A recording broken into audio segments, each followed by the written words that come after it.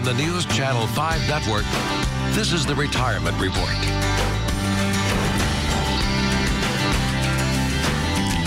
Good morning. Welcome to the Retirement Report. I'm Hank Parrott, your host. All right, we're going to be talking a little bit about the markets today. Uh, we're going to be talking, uh, you know, one of the things that's gone on this year, it's just been a very unusual year, and we're going to hopefully get our, we're going to have a guest joining us to uh, to talk about that. And of course, joining me here in studio is Jeremy Threlkeld with. Um, uh, Virtue Capital Management over in Brentwood, Tennessee. One of our partners, and uh, with Virtue, one, one of the things that we've uh, uh benefited from, if you will, from our partnership is is the uh, resources that they have available, some of the research, some of the money managers, uh, and joining us a little later here, we're going to this morning we're going to have Phil Kosmala with Taiber Kosmala. He's been on before, CFA par managing partner at Taiber Kosmala. and we're going to get into the uh, market and economic update uh, that they just did for the Virtue for Virtue uh, clients uh, just a few days ago. So he's going to share some with us on that. One of the things when you're looking at the markets, we're seeing how much the markets have dropped this year. Uh, year to date, the markets are recovered a little bit. We were down as much as 25%. I think we're somewhere around 17, 18% down right now in the S&P. Now, of course, depending on the indice, Nasdaq's down more than that, as is the Russell 2000, the small caps. What we're looking at, though, is what to, you know, when you, and you know, seeing what's going on is trying to understand a little more and understanding bear markets in general. We're going to have bear markets as part of investing. In fact, uh, on average, it's one in four years are negative years, and bear markets about uh, maybe every 10 years, uh, give or take. So understanding that volatility, understanding that's part of investing in the market, but understanding the positive side of that, that means that we have positive returns three out of four years, and that uh, we have more um, more positive years by far, of course, including more bull markets than, than bear markets. So that, and they and bull markets typically last longer.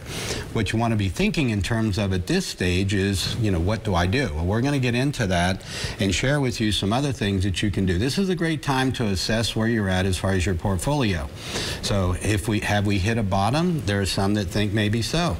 Uh, others, and I'm a, I'm a little more skeptical, you know, maybe not quite yet. And I'm waiting to see what the uh, November numbers are going to look like as far as the CPI, as well as uh, to see what the Fed's going to do with that with that new data when they meet uh, middle of uh, December.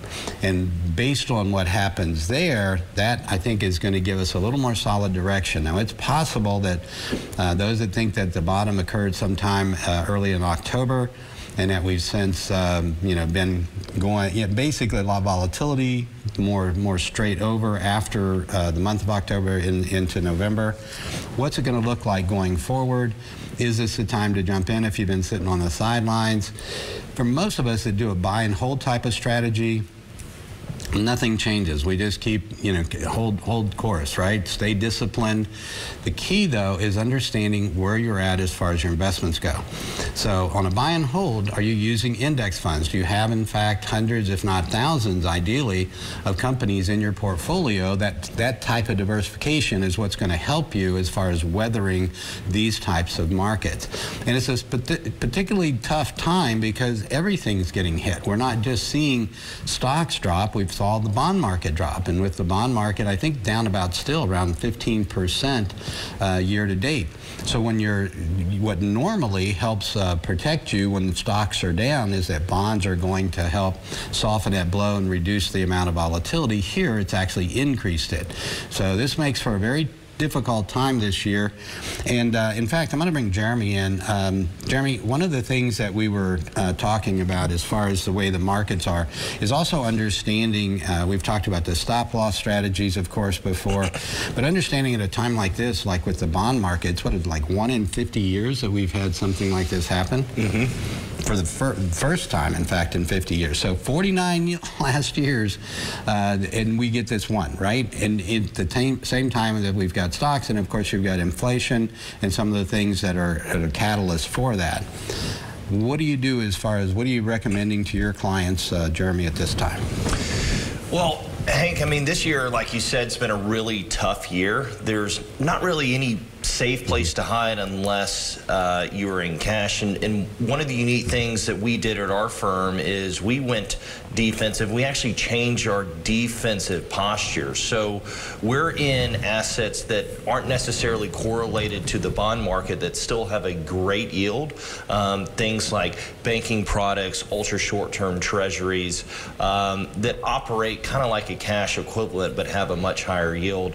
Um, and over the last few months, it hasn't moved much, um, but you know, it's not losing anything. So, I mean, we really had to shift over uh, to you know, something that, that we haven't done before because, like I said, there hasn't been a safe place to hide, and it's been a very tough year. Yeah, this is one of the things. So what we're going to do, we're going to take a break. When we come back, we're going to have uh, Phil Kosmala with Taiber Kosmala join us as well. We'll have a nice little roundtable to, to talk about the, um, the markets and the economy, and not only what's happened this past year, what led us up to this point, but what's it look like going forward. But first a break. Join us here. We'll be right back on the Retirement Report.